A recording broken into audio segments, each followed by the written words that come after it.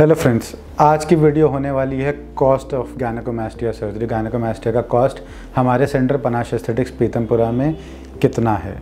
तो अगर आप कॉस्ट जानना चाहते हैं, ये वीडियो आपके लिए है।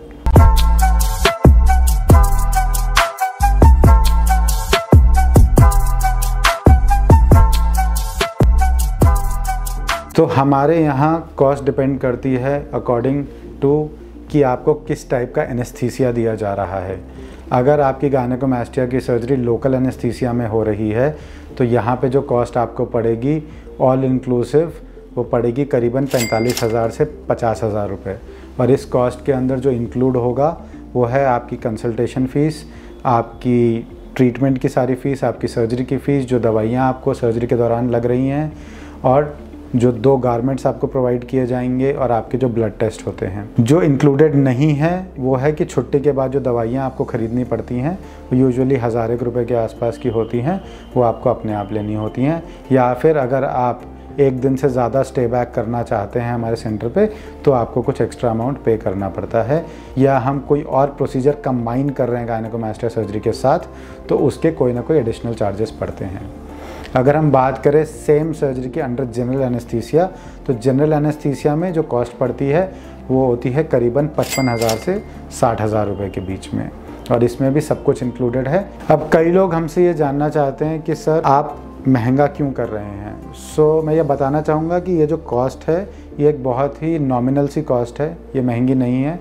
जो कॉस्ट होती है वो डिपेंड करती है on the expertise of the surgeon आप कितने गानों को मास्टर ट्रीटमेंट्स कर चुके हैं? आप किस टाइप का मटेरियल यूज़ कर रहे हैं ड्यूरिंग दी सर्जरी आप जो सूचर मटेरियल यूज़ कर रहे हैं, वो अच्छी कंपनी का यूज़ कर रहे हैं या नहीं?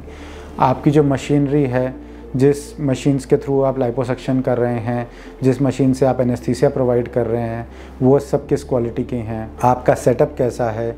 एंड ओवरऑल जो ये सब चीज़ें होती हैं, ये कॉस्ट करती हैं। तो किसी भी एक ट्रीटमेंट को देने के लिए हमें ये कॉस्टिंग कंसिडर करनी पड़ती है और ये सबको देखते हुए मुझे लगता है ये जो कॉस्ट हम यहाँ पर जिस कॉस्ट में कर रहे हैं is a very nominal cost जिसमें पचपन से साठ हज़ार में आपकी गायनोकोमास्टिया सर्जरी अंडर जीए हो रही है, जिसमें आपको दो गारमेंट प्रोवाइड हो रहे हैं, जो अपने आप में छः सात हज़ार रुपये के होते हैं।